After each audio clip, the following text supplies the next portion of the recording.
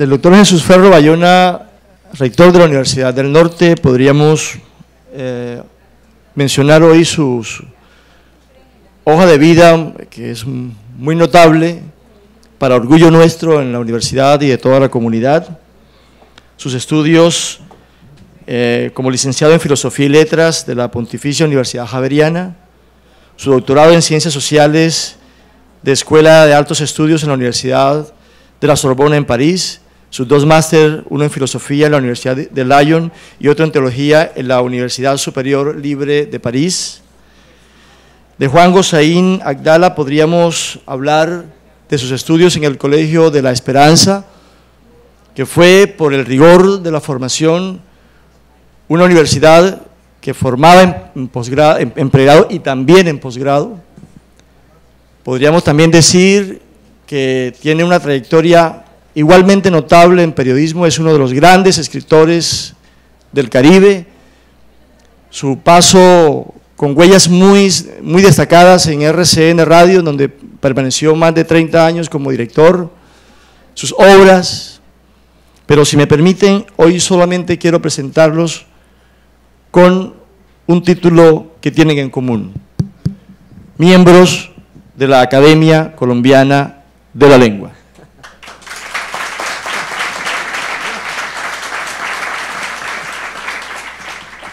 Y quiero eh, invitarles a que conversen sobre un tema que nos apasiona a ellos y a nosotros, las narrativas en el Caribe, esas narrativas que nos han hecho periodistas excepcionales desde hace mucho rato, no sin antes contar una anécdota que en algún momento mm, de nuestros encuentros me contaba Juan Gozaín. Estaba con Gabriel García Márquez en la ciudad de La Habana. Juan lo estaba entrevistando. Se sentaron ambos en una mecedora empezaron a contemplar el Caribe y a hablar sobre el Caribe. Y al poco rato, García Márquez se dirigió a Juan y le dijo, pero esto era una entrevista y no me formulado ninguna pregunta. Y Juan Gozaín le dijo, pues bobo yo si detengo a un Nobel, siga hablando. Yo tampoco soy bobo, de manera que los voy a dejar a ellos hablar solos porque tienen mucho que conversar.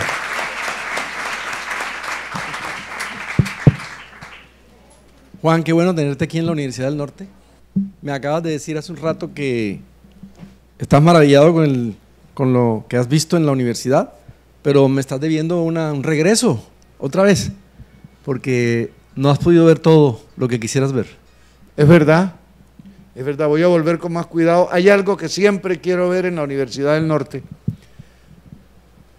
muchas cosas, pero algo que me, llama poderosísimamente y especialmente la atención, que es todo el trabajo antropológico que hizo nuestro querido Angulo, Carlos Angulo, que la universidad ha continuado y enriquecido y valorado. Voy a volver, pero además quiero ver las nuevas edificaciones. Me siento un poco nostálgico ¿Cómo seré yo de viejo que todavía Jesús Ferro no era rector y lleva como 600 años en esa... ¿Cómo habla de bien de la universidad? Ah, hablando en serio, la estabilidad en esos cargos. ¿Cómo habla de bien de la solidez universitaria? 33, 35 años, imagínense. Pues antes de eso, cuando el rector era, el, si no estoy mal, Boris Rosanía Salive, había aquí un hombre extraordinario un fuera de serie, personaje singular. El profesor Antonio Vitorino me invitó a dictar unas, unas charlas en unos cursos especiales de extensión cultural y jamás he podido olvidar no lo que enseñé, sino lo que aprendí durante esos cursos en la universidad. Tengo que volver con calma, pausadamente. Sí, sí, sí. Y ahora que estás hablando de recordar lo de Carlos Angulo Valdés, tenemos un museo que inauguramos hace un año, que se llama Mapuca, Museo de los Pueblos del Caribe. Ah, yo Tienes que conocerlo. vi el nombre, alguna indicación, pero pensé que era una palabra Caribe, no una sigla. No, es una, es una Museo sigla. de los Pueblos del Caribe. Museo de los Pueblos del Caribe. Parece una palabra de la Sierra Nevada de Santa Marta. Tucurinca y Mapuca, pueblos de la Sierra Nevada.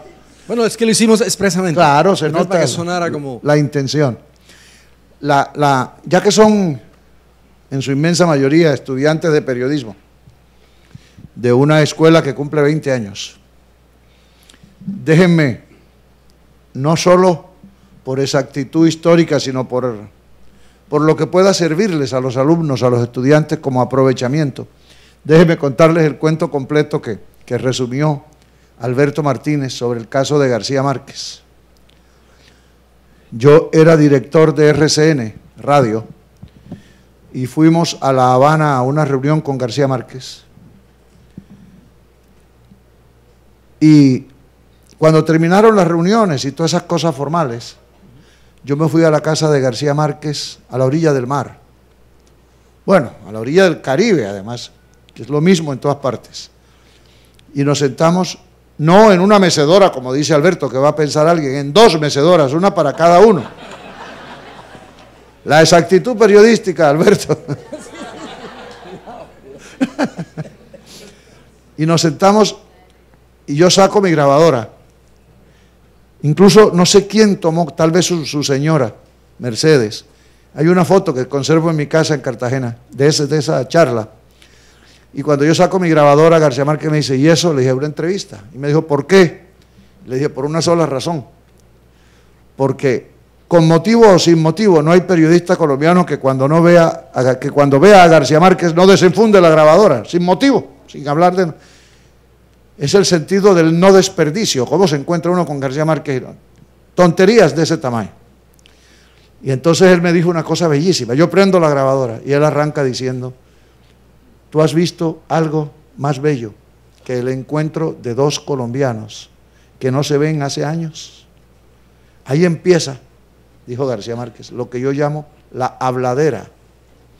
Para empezar, parece que se hubieran visto esta mañana. Ajá, ajá y retoman una conversación que no han iniciado. Bueno, y entonces, ¿cómo va la cosa? Como si vinieran hablando por, por capítulos. Y yo tenía mi grabadora prendida. Y García Márquez dice, por ejemplo, estas mecedoras.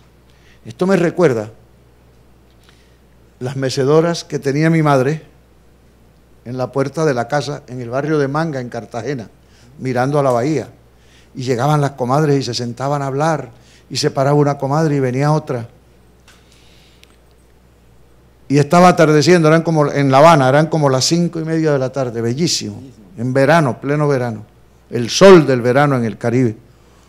Y entonces uno, uno lo que hace es que se pone a hablar con las comadres y mientras tanto se toma un tinto y se entera de quién está enfermo, de, quién, de qué muchacha se voló con quién de su casa. Ajá, y la entrevista, le dije, ni idiota que fuera yo interrumpir lo que tú estás diciendo. Y habló una hora seguida de eso, de eso. Cuando llego a Bogotá, de regreso, yo llevo mi grabadora como un tesoro. ¿Por qué?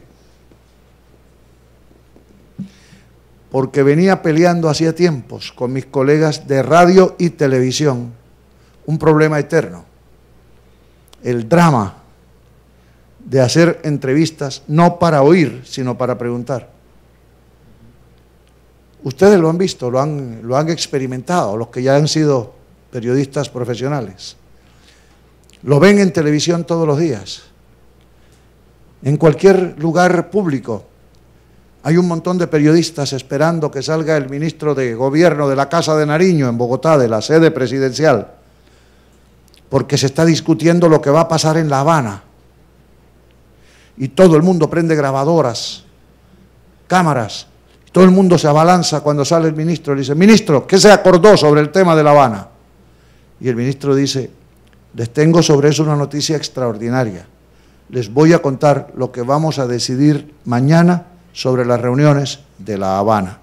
Dos puntos. Y entonces salta otro colega y dice, ministro, ¿y qué pasó con la captura de fulano? Ah, sobre eso, ustedes no se imaginan lo que han descubierto las autoridades. Hay uno de los políticos más importantes del país implicado en secuestros. le voy a decir quién es. Dos puntos. Ministro, ¿y se va a resolver el problema? No van a oír sino a preguntar. Todo el mundo lleva en la cabeza la idea de que yo estoy aquí para hacer la pregunta más inteligente del mundo. Cada periodista tiene la pregunta más inteligente del mundo en la cabeza.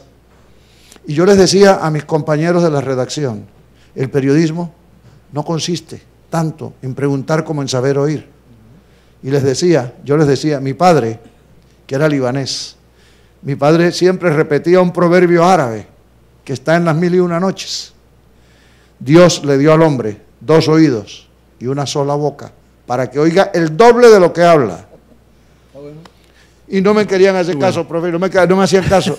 Y yo veo la entrevista de García Márquez y dije, este es el ejemplo, sin una sola interrupción. Transmitimos la entrevista por radio en Bogotá. García Márquez desde La Habana.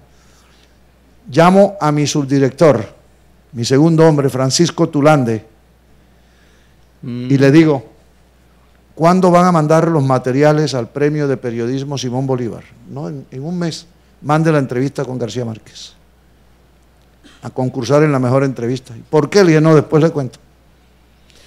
Y yo rogando que el jurado me encontrara la razón y el jurado dijo exactamente lo que yo quería que dijera. Recibe el premio por no haber interrumpido a un tipo que está diciendo cosas importantísimas, hombre. Esa es la verdad de ese episodio. Y esa entrevista ganó el Premio Nacional de Periodismo, no tanto porque fuera buena, mala o regular, sino porque por fin un tipo tuvo el criterio de sentarse a oír a otro que está diciendo cosas importantísimas sin creer que la suya es la pregunta más inteligente del mundo. Y no había. El jurado, Carlos Lleras de la Fuente, era el presidente del jurado como director del espectador. Y puso en el acta, por fin alguien que nos deja oír al entrevistado. Bueno, de eso se trata. Bueno. ese es el episodio de la famosa, de la famosa entrevista, sí. Yo tengo una curiosidad, Juan. Ahora que estás hablando de García Márquez. Es que nosotros hace como 15 días celebramos... Bienvenido a la Academia de la Lengua. Pero imagínate. Por...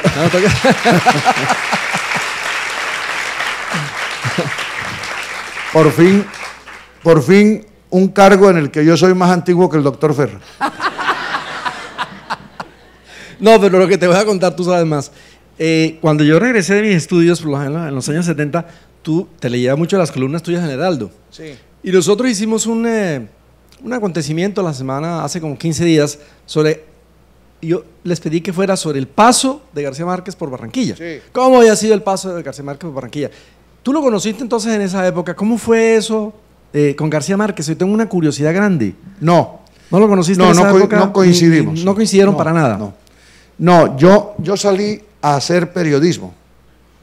Salí de mi pueblo, de San Bernardo del Viento, en Córdoba, en el año 69. Ajá. Eh, contratado por el espectador para irme a Bogotá. Dos años después vengo a Barranquilla, a finales del 71. Así es. Pero ya hacía 20 años que García Márquez se había ido de Barranquilla. Sin embargo, me, puse a, buscarle los pasos en el Heraldo, en la ciudad, en el bar Happy, en la librería de Rondón, en la cueva, en el periódico, en los archivos y pude reconstruir todo a través de los archivos del Heraldo. Me llevé unas sorpresas muy desagradables,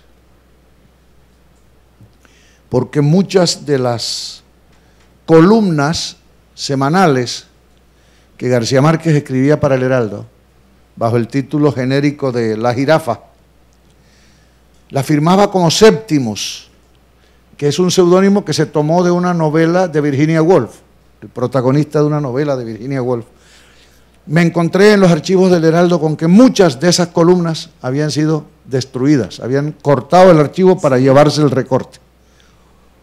Y entonces me dio tanta indignación que me puse a averiguar quién fue. Y lo descubrimos. Y no hay derecho, uno de los mejores investigadores del mundo. ¿Cómo se llama el profesor de la Universidad de Toulouse? Jacques ah, Gillard. Ya falleció, sí. Gillard publicó posteriormente unos volúmenes buenísimos.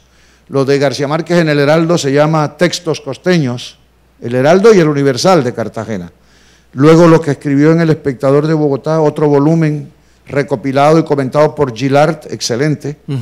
llamado Entre Cachacos, lo de Bogotá, pero descubrimos que Gillard en lugar, no había fotocopiadoras en el año setenta y tantos. Que Claro, Gillard- claro. Pero entonces podía tomarse el trabajo de tomar apuntes, no, recortó con la navaja y dejó el archivo del Heraldo mutilado. Esa es la verdad, esa. se llevó la, la mitad de las Pero a cosas. propósito de Gilar, nosotros publicamos aquí en la universidad hace como 5 o 6 años una, una recopilación porque no teníamos todos los números de crónica. Sí. Y Gilar nos prestó La en su momento. la acabo de ver en, Bueno, en la, en la venta de libros. Salió muy buena, salió muy buena. Ah, bueno, te la vamos a hacer llegar. ¿No la tienes? No sé si No. la tengo, pero nunca sobra un libro.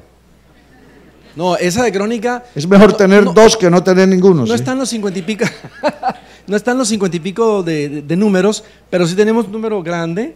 Y Alberto, si tú nos puedes ayudar, porque para hacértelo llegar, ahí hay cosas muy buenas y mucho de ese material, mucho, no todo, pero mucho material nos los prestó Gerard. Pero yo tengo la sospecha de que otros no nos lo mandó. Y ahora que tú estás hablando de eso, Sí. me doy cuenta de que no nos mandó lo que tenía de. No, mire, Crónica salía los sábados para empezar, porque el Heraldo no circulaba los domingos. Así es. El Heraldo de aquella época, ¿De aquella circul- época? circulaba hasta el sábado y volvía a aparecer el lunes. Ajá. Entonces, Crónica, el suplemento, que además es curioso porque es un suplemento que tenía vocación básicamente deportiva. Sí, sí. Sí, Sí, así es. el, el- el director, si no me equivoco, era Alfonso Fuenmayor. Era el director famoso. Alfonso Famayor. García Márquez era jefe de redacción de Crónica. Ajá. Alejandro Obregón era ilustrador de Crónica. Yo tengo varias ilustraciones de Obregón para textos de, de García Márquez y de Cepeda Zamudio. Ese peda. También se publicaban allí textos de Cepeda. Ahí se publicaron unas entrevistas deportivas de García Márquez.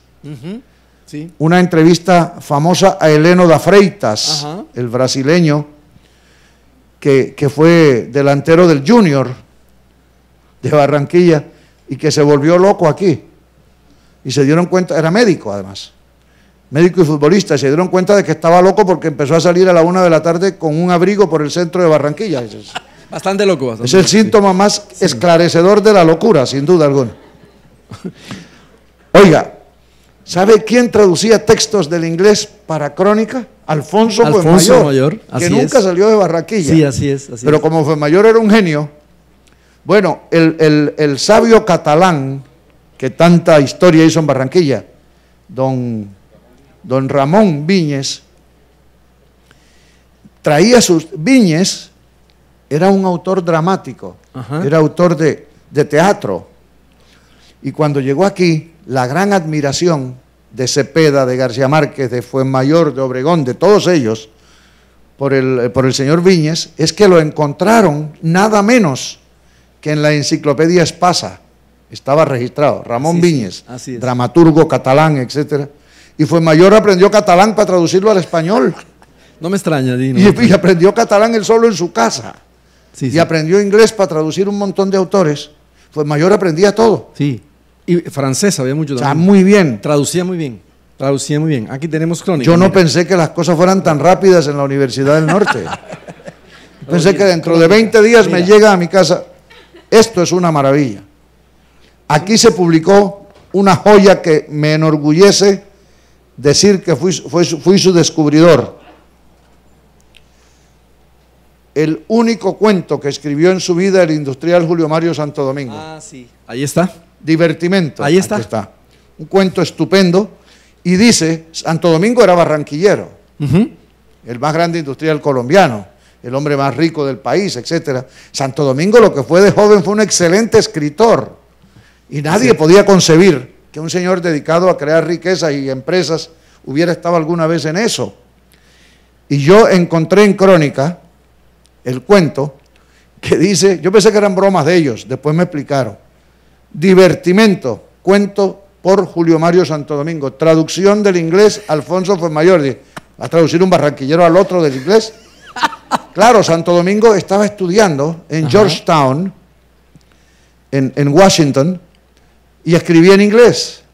Y Fuenmayor le traducía al español. Y el cuento es excelente. Excelente. Y entonces yo le pregunté, mi mujer y yo estábamos un día en Nueva York y nos encontramos con el señor Santo Domingo y nos lo presentaron. Y le dije, yo tengo un cuento suyo. Dijo, ¿cómo? Y yo tengo eh, crónica, una reproducción de divertimento, una fotocopia. Y aquel hombre casi se vuelve loco y me dijo, mis amigos, mis colegas de la industria, mi propia familia no pueden creer que yo haya sido escritor de joven. Todo el mundo cree que yo soy un empresario. Y yo publiqué el cuento en el suplemento literario del tiempo en lecturas dominicales, con una crónica mía, y salió el cuento. y, en el tiempo decían que es el día que ha tenido mayor circulación el periódico. Claro, Santo Domingo lo compró enterito para regalarle a todo el mundo. Y a mí me parecía conmovedor, conmovedor ver al hombre más serio que yo haya conocido, al hombre más rico de Colombia, al empresario más importante del país, orgullosísimo porque alguien descubrió que más que empresario era un escritor. Y entonces le pregunté un día, ¿y por qué no siguió en eso? Y me dijo, le voy a dar la razón, se la voy a explicar. Porque mi padre, don Mario Santo Domingo, que vivía aquí, un día me dijo, venga, venga joven, venga. Ya eran empresarios importantísimos. Usted anda con esos tipos, tal fue Mayor, tal García Márquez, un tal Cepeda. Usted lo que va es camino al alcoholismo y al desorden. Se va de aquí. Lo voy a salvar de la perdición y se va para Georgetown. Me dice Santo Domingo bellamente, me dice, y pensar que de lo único que me salvó mi papá fue de la gloria literaria. ese, ese cuento salió aquí, divertimento. Sí, sí, sí, Cuento vanguardista de primera calidad, excelente, sin duda alguna. Sí, ellos hicieron una gran labor ahí, ¿no? El, el, eh, el mayor yo estuve con mayor en los años 78, 79, en cuando una publicación del Diario del Caribe fue suspendida, y bueno, y seguimos después con algo, eh, trabajando los domingos, para los domingos. Y lo que tú acabas de decir de mayor es verídico. mayor era el, traía un montón de documentos y siempre eran traducciones, incluso él mismo se escribía cosas así mismo. Él, decía, por ejemplo, carta a Fuenmayor, y él hacía él. Ah, sí, sí, Señor sí, Fuenmayor, usted está escribiendo esto muy mal, ¿por qué no cambian un poco? Eh. Y ahí ponía abajo Elenita, yo no sé qué. Y era el mismo Fuenmayor el que estaba escribiendo. Se llamaba Aire del Día, la columna que escribía. yo tengo una anécdota con Fuenmayor que es extraordinaria, extraordinaria, con perdón de las señoras. Espero que la tomen más por su valor humano que por cualquier otro lado. Yo era el jefe de redacción del Heraldo en los mediados de los 70, en el 75. Yo llegué al Heraldo en el 71, 72. Ah, Juan B. Fernández, Renovitsky, director, de quien quiero hablar un poco antes de irme. Qué bueno. Se había ido de embajador de Colombia en Chile después de haber sido claro, ministro. Claro, claro. Y en, y en Chile fue un, lo que hizo Juan B. fue un honor para Colombia salvó a 200 o 300 chilenos perseguidos por la dictadura recién instaurada de Pinochet. Así es. En el momento de la muerte de Allende, en septiembre del 73. Y Juan B. fue declarado persona no grata por el gobierno chileno porque llenó la embajada de gentes que estaban huyendo de un asesinato. Eh, Juan B. se va a Chile, fue mayor, que era su subdirector, asume la dirección, y a mí vengo de Bogotá porque me nombran jefe de redacción. Entonces trabajamos Juan Mayor y yo juntos. Es uno de los mayores orgullos y de los mayores placeres de mi vida haber trabajado con Juan Mayor. Pero teníamos un problema serio todos los días. La nota editorial de un periódico es la cosa más fría, menos urgente, más preparada, con más anticipación, la cosa más inútil del mundo, el comentario editorial de un periódico. Y lo hace el director, claro. Y el editorial del Heraldo llegaba a las 11 de la noche todos los días, el periódico parado esperando el editorial de Fuermayor. Pero ¿cómo es posible si ya está la noticia de última hora, ya está armada y el editorial no ha llegado? Y llegaba Alfonso a las 11 de la noche con su chaqueta de, lino y el editorial en el bolsillo, oliendo a trago. Venía de reunirse con sus amigos del barrio abajo. Entregaba el editorial. Y un día el gerente, otro hombre inolvidable, que es la Escuela del Heraldo, creo que no la ha habido mejor en la historia del periodismo colombiano y sé lo que estoy diciendo. Otro hombre extraordinario, el gerente, Alberto Mario Pumarejo, recibió un día una queja de los voceadores de periódicos. Mire, el periódico está saliendo tardísimo. Y fue a los talleres a preguntar por qué está saliendo tardísimo el Heraldo. Las máquinas son muy viejas, eran esas cosas antiguas, de plomo. Pero además, como si fuera poco, don Alfonso trae el editorial a las 11 de la noche. Alberto Mario, que lo respetaba tanto como todo el mundo a Pumarejo, resolvió coger el toro por los cuernos y le dijo, maestro, como le decíamos todos a Fue Mayor, maestro. Me da una pena, comenzó a dar vueltas y Fue Mayor dijo, no, no, cuéntame. Es que el periódico se está atrasando porque usted llega muy tarde con el editorial. Y además, perdóneme que se lo diga, pero llega oliendo a trago. Y fue mayor se queda viendo a Pumarejo y le dice a Alberto Mario, de modo que yo soy un irresponsable porque traigo el editorial a las 11 oliendo a trago. Y le dice, sí, señor, eso es. Dijo, yo lo que soy es el tipo más responsable del mundo, porque a esa hora, y con todo el trago que yo he tomado a esa hora, cualquier otro se va a poner las putas y yo vengo a traer el...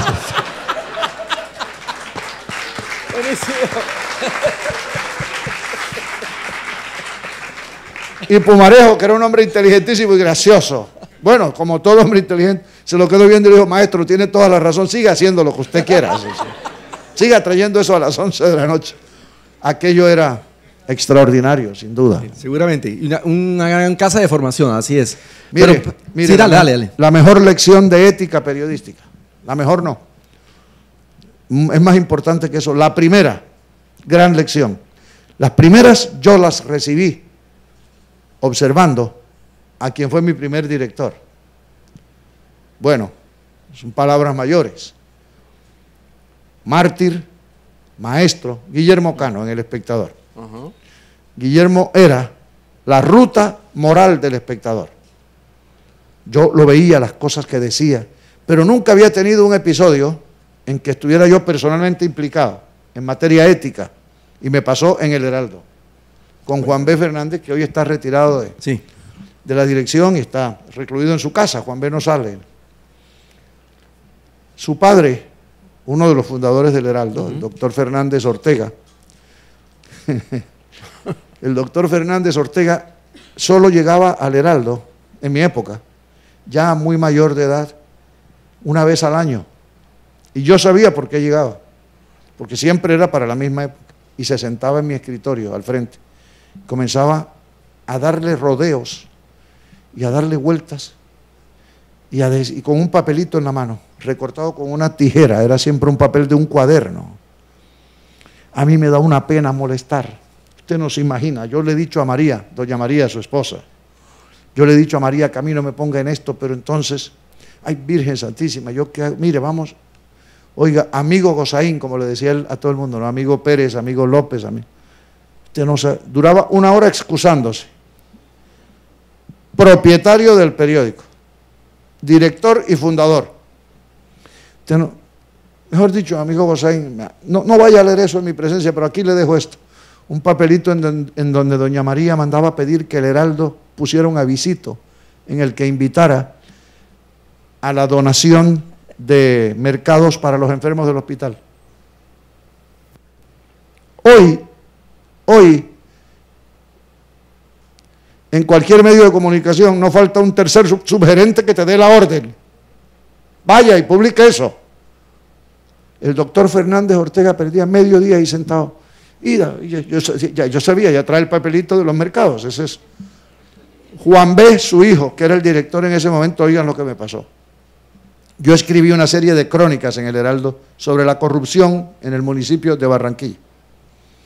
Una cosa tan grave como 25 crónicas, con el título genérico de La olla podrida. Sí, así es. Terminó preso el alcalde de la época, terminó preso el personero, una cosa gravísima. Bueno, descubrimos la corruptela, descubrimos que los concejales del municipio de Barranquilla se presentaban a las 5 de la tarde a las empresas públicas municipales y retiraban el dinero efectivo que habían pagado los usuarios y los reemplazaban con cheques sin fondos de ellos, los concejales, todos los días. Los concejales es injusto, un grupo de concejales. Y yo denuncié eso en el Heraldo, con nombres propios y todo. No, un día me encerraron en mi apartamento, me pusieron un candado por fuera para que no pudiera salir. Hoy parece cómico, pero aquello era. Y un día, llega un señor de las empresas públicas a El Heraldo y pide hablar con el director Juan B. Fernández. La secretaria de la dirección, que era una periodista estupenda, nunca lo olvidaré, llamada Carmen Santiago, le dijo, suba, y le avisó, doctor Fernández, lo busca el señor fulano de las empresas públicas. Adelante y se sentaron. Yo estaba en mi redacción atendiendo el trabajo en el piso, en el, segundo piso, él estaba en el tercero. Algo así, había una escalera.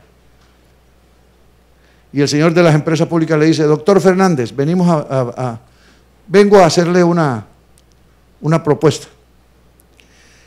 Las empresas públicas quieren publicar mensualmente un suplemento en el Heraldo. Estoy hablando de hace 43 años o 40 años. Quieren publicar un suplemento contando a los usuarios las noticias de las empresas y los planes de trabajo. Eso será como 12 eh, eh, ediciones, será como un año que durará eso, una por mes. Y estamos dispuestos a pagar como, eso, eso debe costarnos como entre 20 o 25 millones de pesos hace 40 años. Y Juan B, el tocayo Juan B, así nos hemos llamado toda la vida, tocayo y tocayo. Juan B, que era un tipo extraordinario en ese trabajo el tipo al que un día un loco del taller pintoresco, el amigo Valle, le dijo, doctor Fernández, ¿yo le puedo decir Juan B? Y él le dijo, claro que sí, a menos que yo me llame Ricardo. Si me llamo así. Ese era Juan B. Fernández.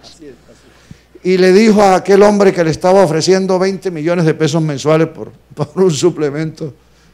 Le dijo, espéreme un segundito. Carmen, comunícame con la redacción. Lo comunican con la redacción y me llama y me dice, Tocayo, subo un momentico. Y me hace sentar así. Él, el señor de las empresas públicas y yo. Me dice, el señor de las empresas públicas aquí presente viene a ofrecerme esto y esto y esto por 20 mil. Yo quería que usted oyera la respuesta. Si lo que usted me está pidiendo, le dijo el señor, es que suspendamos la publicación de las crónicas de la olla podrida, hágame el favor váyase por donde vino, que yo haré como si esta reunión nunca hubiera tenido lugar. Cuando a tus 20 años de edad, 22 o 23 años, un director te respalda así, de ahí en adelante los errores son por culpa tuya.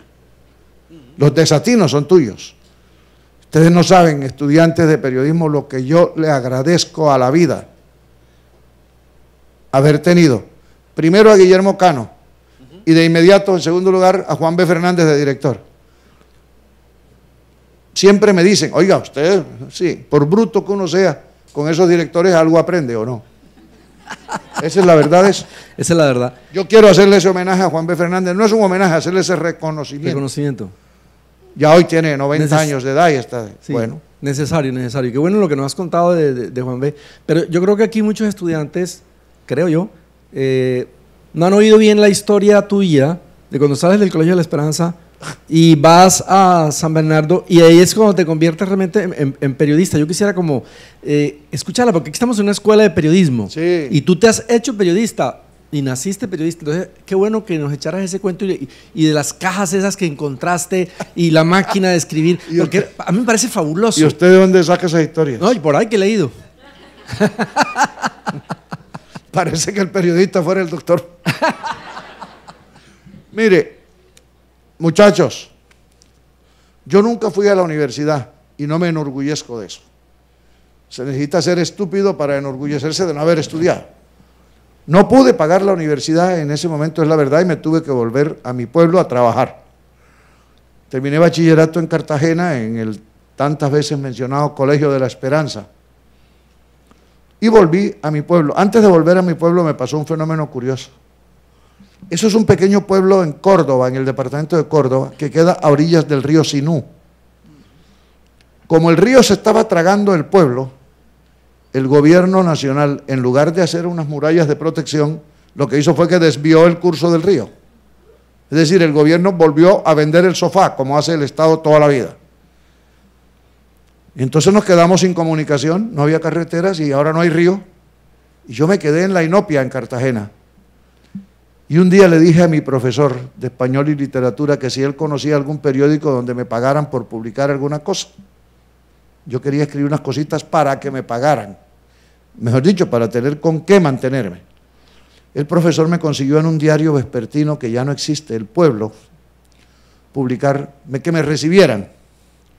Y me recibieron y me mandaron a hacer crónicas deportivas. En el estadio de béisbol, 11 de noviembre, en Cartagena, con la importancia del béisbol. Me mandaron a hacer el hombre de los numeritos. En el béisbol, que es un deporte de cifras, es fundamental los numeritos, cuántas carreras anotaron, cuántos hits, cuántas bolas, cuántos strikes. Yo era simplemente el que iba allá a recoger los números. Pero un día me encantó ver a un hombre fuera del estadio con una, una malla, una red de cazar mariposas. Esa locura que es. Y me pongo a mirarlo y es que cuando las bolas salen del estadio el señor va con eso y las captura y se las vende de nuevo a la liga de béisbol. Vive, Vive de eso, de cazar bolas, es un cazador de, bolas. Y entonces escribió una cosa lindísima, el hombre que caza bolas como si fueran mariposas. La llevé a mi periódico para que me pagaran los dos pesos que me iban a pagar por, por colaboración. Y el jefe de deporte la leyó y la rompió y me dijo, aquí sobra quien hable pájaro, yo lo que necesito son los numeritos, ¿dónde están los numeritos? Bueno, no me, nunca pude Nunca pude ingresar al periodismo así. Me voy para San Bernardo del Viento y estando allá ocurre el episodio de las cajas. Yo trabajaba en un molino de arroz porque yo estudié contabilidad. Ah, ponerse a decir eh, contador es muy pretencioso. Tenedor de libros, una cosa muy modesta ahí. Auxiliar de contabilidad para trabajar en la única industria que había en mi pueblo, que era el molino de arroz y me voy para el Molino de Arroz a trabajar y un día empiezan a llegar a San Bernardo del Viento unas cajas misteriosas. Nunca se había visto eso por allá. Unas cajas de madera que eran más grandes que las casas del pueblo. Unas cajas herméticas. Y para colmo no venían dirigidas a nadie. Municipio de San Bernardo del Viento, Departamento de Córdoba, República de Colombia, Sudamérica. Y la gente empezó el, enigma del Caribe, ese misterio que aquí da vueltas. No toquen eso, que se meten en un problema. ¿Quién sabe qué contendrá aquella cosa? Y la gente las miraba de lejos. Y entonces resolvieron amontonar aquellas cajas que seguían llegando en el patio de la alcaldía. Y una noche, travieso como todos los muchachos a los 18 años, un compañero mío en el molino de arroz, Roberto Luna y yo, conseguimos una escalera y llevamos una palanca que, aquí en el Caribe llamamos pata de cabra para abrir cajas muy grandes y abrimos la caja allá arriba, montados, y lo primero que encontramos son unas hojas que estaban ahí escritas. Aquí está el misterio. Estaban escritas en inglés. Virgen Santísima, quedamos en las mismas. Entonces a un señor de Cartagena que iba a San Bernardo del Viento a comprar arroz para revenderlo en los pueblos, con su camión, don Ramón Arnedo, le pedimos que en su próximo viaje nos comprara un diccionario inglés-español en la librería de Mogollón en Cartagena. Y le dimos la plata y nos llevó el diccionario. Y volvimos a meternos. Y comenzamos a traducir letra por letra, con una linterna de mano, eso cosa era clandestino a las 11, 12 de la noche bueno, no, no, no, era necesario que fuera clandestino porque en el pueblo tampoco había luz, no había servicio. Pues comenzamos a mirar y era un hospital prefabricado, un hospital completo, camas, techos, paredes, sábanas, bajalenguas. Lo único que no mandaron los ingleses fueron los enfermos, eso lo poníamos nosotros. Y descubrimos la verdad. Unas monjas españolas, misioneras, que habían estado en San Bernardo del Viento volvieron a Londres, que era su sede, y contaron allá en su institución que ese pobre pueblo no tenía médicos, no había salud, no había... Mandaron de regalo al hospital. Entonces, a mí me pareció tan insólita la historia que me senté en la máquina de escribir del molino de arroz y escribí una cosa llamada Esto tiene que ser un milagro. El título que yo le puse. Y Comencé diciendo, llegaron unas cajas a San Bernardo, pero ¿quién sabe dónde queda San Bernardo del Viento?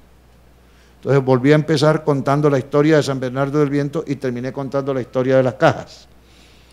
Se la mandé al espectador en Bogotá porque era el único periódico que llegaba al pueblo. El de la semana anterior llegaba a la semana siguiente. Entonces, uno se enteraba de las últimas noticias de la semana anterior. Y ahí, en la bandera del periódico, decía director, director Guillermo Cano, Avenida 68, hice un sobre, metí mi, mi texto en el sobre y se lo mandé a Guillermo Cano. Guillermo Cano lo publicó con un gran despliegue. Y después de eso yo he leído muchas veces esa y las siguientes cartas que yo mandé, y me parecen malísimas realmente. Creo que lo que lo sedujo a él, como a todo el mundo, fue el nombre del pueblo. Y entonces la tituló Carta desde San Bernardo del Viento. Y así se fueron ocho o diez cartas de esas, hasta que un día llegó el gerente, el distribuidor del espectador en Cincelejo, preguntando en San Bernardo del Viento, ¿quién es aquí Juan Gosaín? Lo mandaron donde mi papá, que tenía el mismo nombre mío, mi papá no sabía de qué le estaban hablando. ¿Qué periódico? ¿De qué locura es esto? Me mandaron buscar a mí al molino y dije, sí, yo soy el que ha mandado. Y el agente del espectador, que era árabe también, don Nicolás Chadit, me dijo, emocionado estoy de ver, te muestro este mensaje que me manda Guillermo Cano. Querido Nicolás, váyase a San Bernardo del Viento y averigüe quién es este tipo y dígale que se venga a trabajar con nosotros. Incluso déjele un pasaje de avión para que se venga a Bogotá. Y yo le dije, no, yo no tengo interés en eso. Quiero quedarme aquí. Pero mire que esto, le dije, no, no, no, no.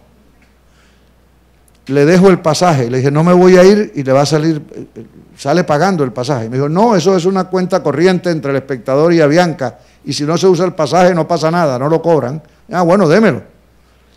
Y empezó la cosa más bella del mundo, de la cual hasta hoy, casi 50 años después, vivo sacando usufructo y sacando provecho los consejos de las mujeres en la casa de uno. Todos los consejos buenos en esta vida me los han dado las mujeres. Empezó mi madre, con la sabiduría hogareña de las señoras, de las viejas, me dijo lo siguiente, acepta eso, vete a Bogotá. Y por mal que te vayas, que te vayas en Bogotá, si no te gusta, vuelves aquí a hacer lo mismo que estás haciendo, ya tienes pasajes. Y mis hermanas, pero vete y aproveche, no voy para ninguna parte, ve, ve. Mucho tiempo después supe que ellas se morían del pesar de que yo me fuera, pero lo estaban haciendo en provecho mío. Esa es la virtud de las mujeres. Y un día había un invierno muy crudo en San Bernardo del Viento, triste. Dije, me voy a Bogotá.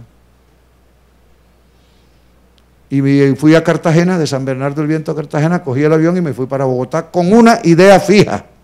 Voy a ir por un mes. Aquí estoy, medio siglo después.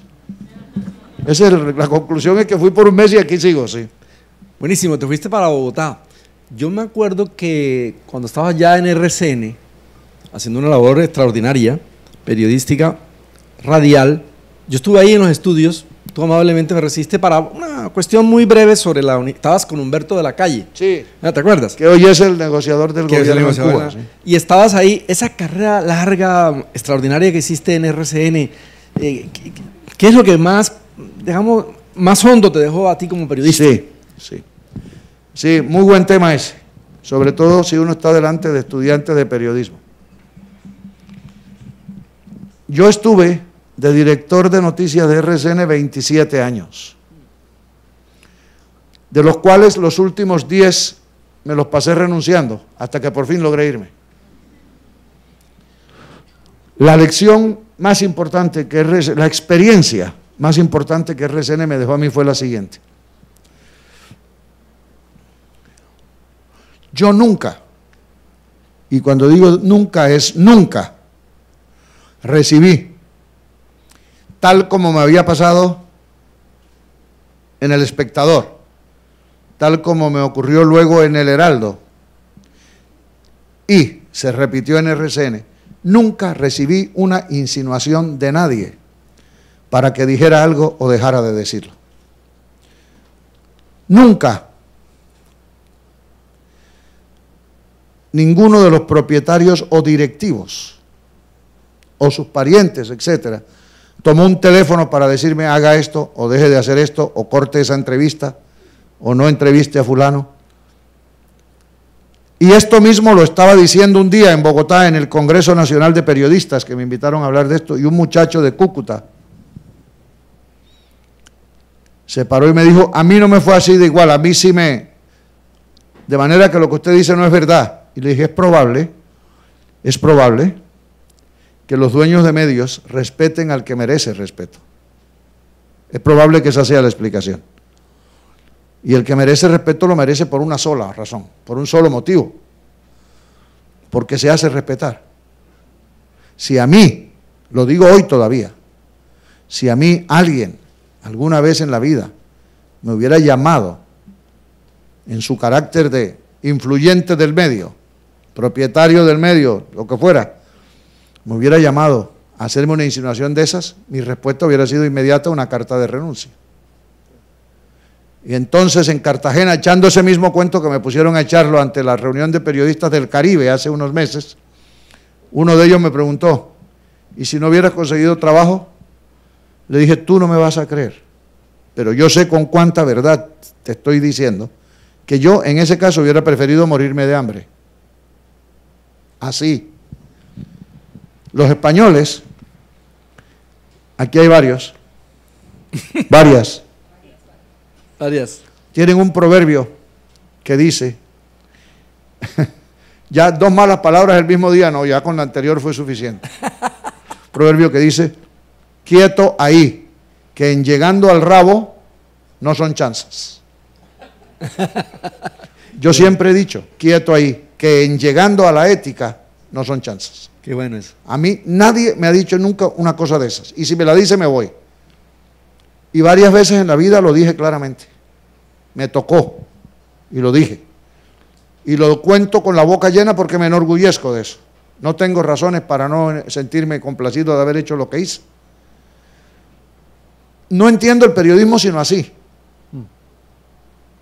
Un periodista, mire, miren, muchachos, un periodista a usted le paga el medio. A mí me pagaba RCN o el Heraldo o el Espectador, Caracol cuando trabajé allá.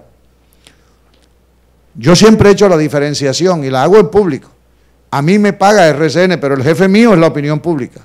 Son cosas diferentes. Yo hice en RCN poner de eslogan de, la cadena, de consigna del noticiero durante casi 30 años, algo en lo que creo firmemente. Un periodista tiene un solo deber. Periodista es la voz de los que no tienen voz. Y en Bogotá me tomaban el pelo mis amigos y me decían, claro, con esa voz suya puede decir eso. RCN es la voz de usted que no tiene voz. Pero lo que yo siempre he querido decir es, mire, que cualquiera, que cualquiera que trabaje en un medio tiene un solo jefe al cual atender, la opinión pública. Y a veces ni siquiera ese.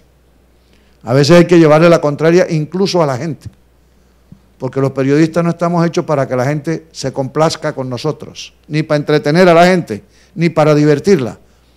Estamos hechos para decirle la verdad a la gente, aunque a la gente no le guste, ese es problema suyo, no nuestro. Esa es la verdad de eso.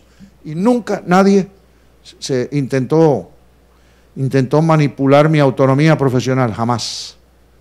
Si hubiera tenido que regresarme a San Bernardo del Viento a seguir vendiendo arroz, hubiera preferido hacer eso. Qué bueno, qué bueno. Mira, y, nos dicen aquí que hacen falta, que quedan aquí cinco minutos. Yo quiero aprovecharlos para, porque yo te sigo leyendo esos reportajes tan buenos que escribes en el tiempo. Eh, lo de las EPS, toda la problemática, pero hay uno que me gustó mucho, que empezamos a hablar ahora cerrita.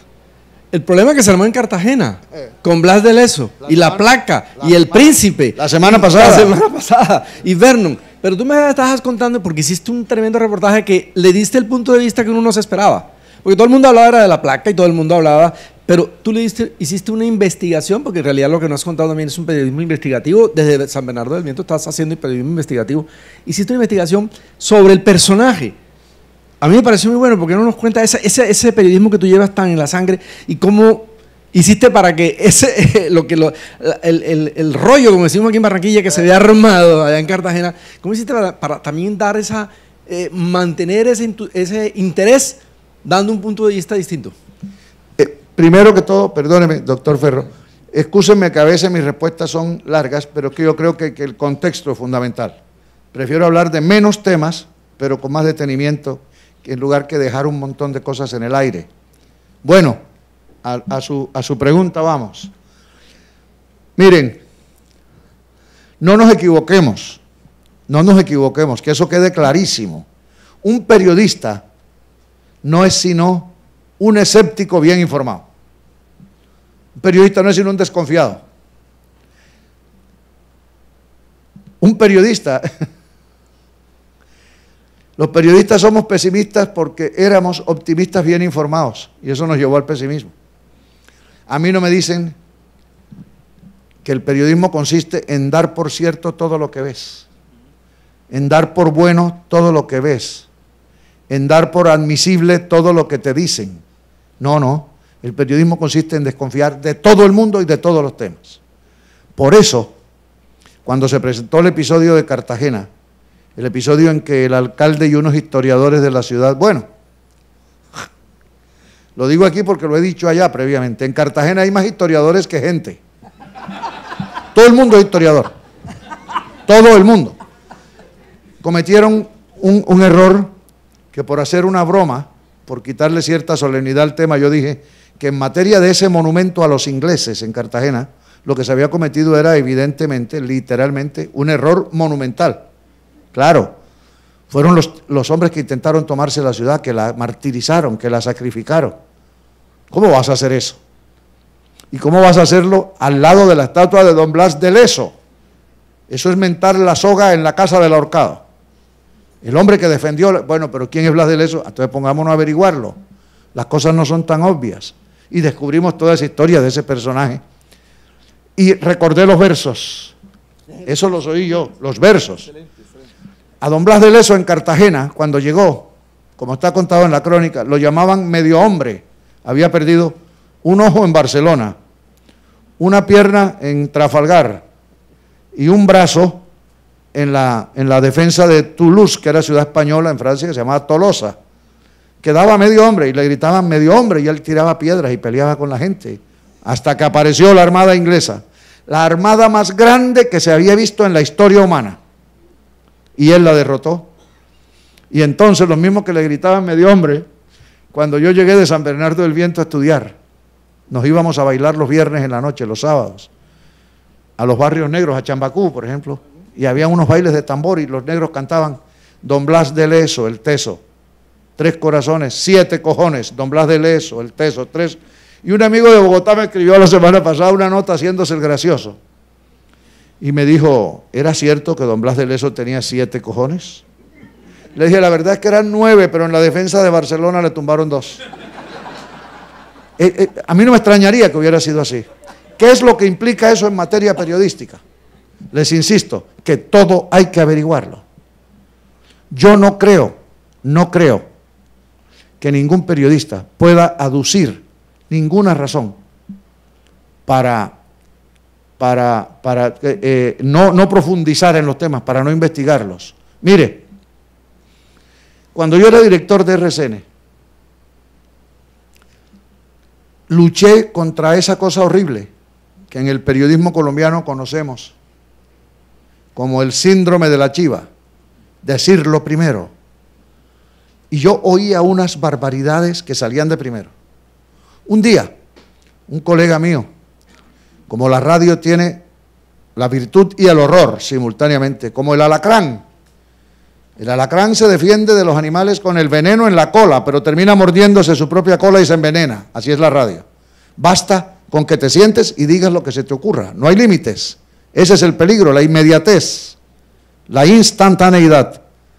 Un día un colega mío, compañero de trabajo, a las nueve y media de la mañana dijo al aire, un sábado, yo estaba en mi casa y lo oí, dijo, se acaba de estrellar un avión no se sabe de qué aerolínea ni hacia dónde iba. Se confirmó Y yo lo llamo y le digo, pero eso es una barbaridad lo que acabas de hacer. Ahora todo el que tenga un pariente volando en un avión quedó en alteración, cualquiera que te oyera, un radio escucha. Ah, pero lo dije primero, ¿y eso qué tiene de importancia? Tú deberías decir un avión de la aerolínea tal que salió de tal parte a tal parte con tantos pasajeros, desapareció. Eh, bueno, ya, ya por lo menos no es una locura, una noticia sin detalles. Y luché contra eso hasta que me encontré un ejemplo perfecto.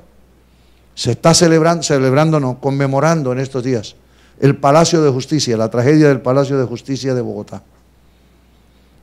Muy bien. El primer periodista que estaba en el Palacio de Justicia haciendo noticias judiciales era un compañero nuestro muy joven llamado Álvaro Almanza. Almanza, cuando comenzó a transmitir se oía todavía el tiroteo porque acababan de entrar los guerrilleros al palacio. Muy bien. Como a los 20 días, en un seminario de periodismo en Bogotá, yo me hice el tonto y dije, jóvenes, cuéntenme una cosa. ¿Quién fue el primero que informó del Palacio de Justicia? Y comienzan los compañeros así. Yo no me acuerdo, pero lo que me fascinó fue el informe que hizo fulano. Y se dan cuenta. Nadie se acuerda quién lo dijo de primero. Todo el mundo recuerda quién lo dijo mejor. Yo pondría en las salas de redacción, en letras de oro, una leyenda que diga, no importa quién lo dice primero, lo importante es quién lo dice mejor. Eso lo recuerda el, el lector, el oyente, el televidente. ¿Y sabe quién lo hace mejor? El que lo investiga más el que profundiza más, el que se detiene. Esa es la, lección que yo he aprendido en la vida y me encanta poderla compartir con los estudiantes. Muchas gracias, Juan Osaí, por estar aquí con nosotros.